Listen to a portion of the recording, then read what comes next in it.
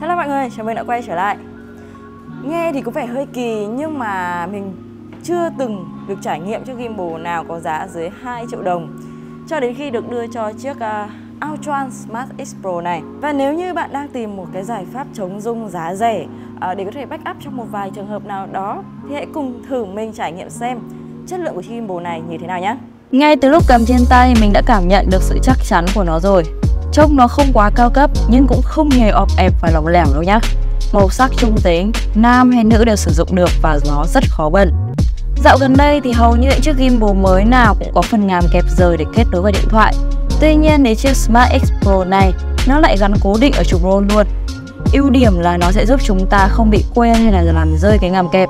Nhưng nhược điểm là trông nó không được gọn và thẩm mỹ cho lắm. Tuy rẻ nhưng mà nó cũng khá đầy đủ các chức năng và có các chế độ ví dụ như là lock này, pan full low, full low, POV. Tùy vào cái mục đích sử dụng mà chúng ta có thể bấm joystick một lần để chọn.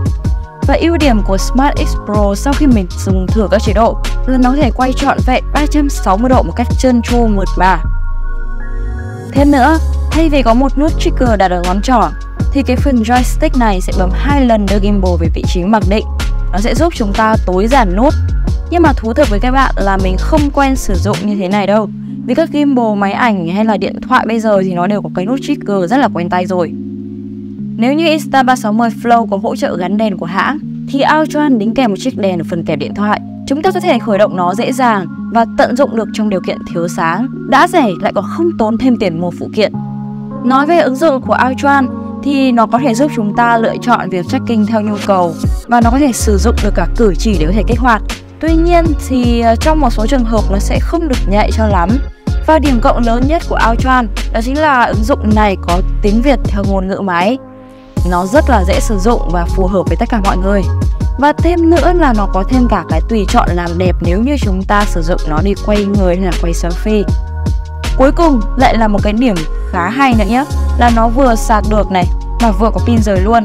Bạn có thể mua pin tương tự hoặc đặt mua thêm của hãng. Sau này nếu chúng ta dùng nhiều chỉ cần thay là sử dụng ngay. Khi nào về thì sạc là được.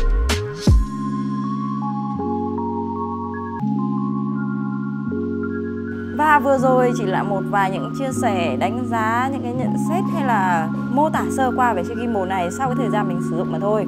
Và nếu như để muốn biết xem chính xác là khả năng chống rung của nó như thế nào, à, tốt hơn hay là kém hơn so với những cái chiếc uh, gimbal có mức giá từ 2 đến 3 triệu đồng hoặc hơn thế nữa. Thì ok chúng ta hãy cùng đem nó vào thực tế để thử xem sao nhé.